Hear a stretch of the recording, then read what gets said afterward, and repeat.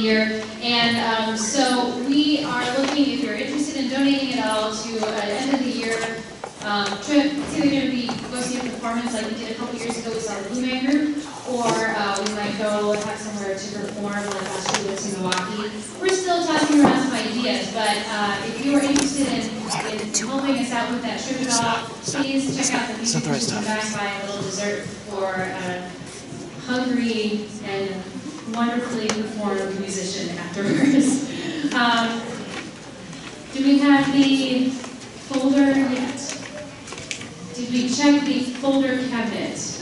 In fact, I will, yes? I have one part for uh, a song. Okay, I will go around quickly and do that, if you wouldn't mind just giving us one second, I want to make sure that everybody can perform.